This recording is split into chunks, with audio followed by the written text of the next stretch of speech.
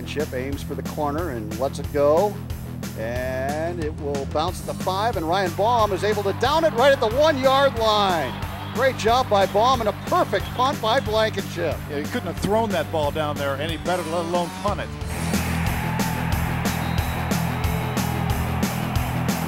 Sumrall will try to return it from the 42 of OSU. Running to the left side across the 40. Sumrall to the 35. Got a block. Down the sideline. 20, 15, out the way. It's blocked. It was rejected by Nick Leaders. And the Cyclones are on the ball. It'll be Iowa State's football. Nick Leaders does it again.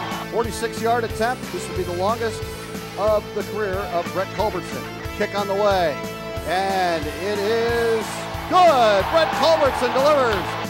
Jackson angles to the middle of the field, now to the right side, across the 20, 25, 30. Jackson to the 35, 40. Keeps his footing, 45, 50. 45 40 and spins out of bounds at the 32 yard line of Army. A 68 yard return for DeAndre Jackson.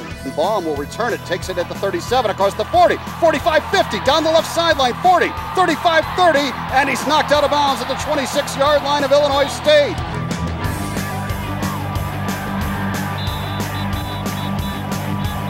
Yelp approaches the ball and lets it fly, and it's a booming kick. Through the uprights, I think. In fact, it reached the uh, temporary bleachers down there. So Yelp with a tremendous kickoff. Tolson got it blocked. Up high in the air it goes. Now low snap, and it's blocked. It was denied. I believe it was Nick Leaders that got the block. It's scooped up by Lamarcus Hicks. He has the football at the 25 to the 30. He'll pitch it back.